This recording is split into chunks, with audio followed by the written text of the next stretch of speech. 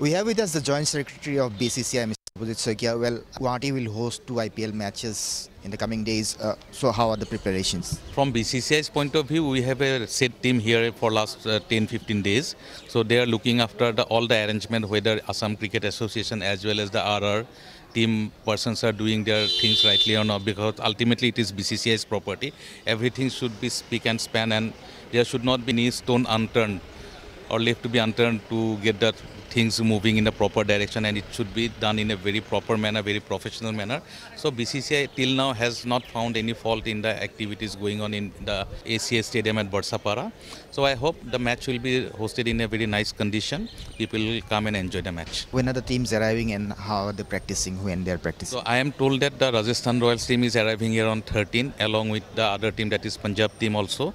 And for the second match, the because Rajasthan team will keep on staying till 28 because they have two matches and KKR team in my information is that they are arriving on 17th.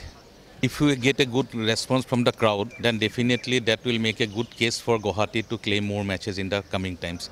But the first thing is that people should come and fill up all the stands.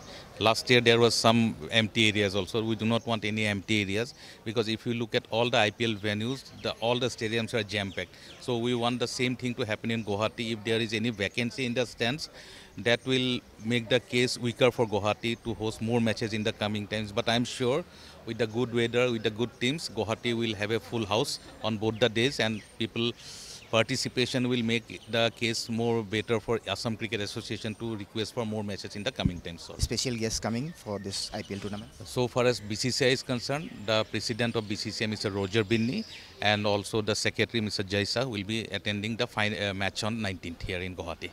Thank you very much. That was the Joint Secretary of BCCI, Mr. Devajit Saikia, speaking exclusively to Northeast Live. Reporting from Guwahati with camera person Debojit Boro. This is Arindam Das for Northeast Live.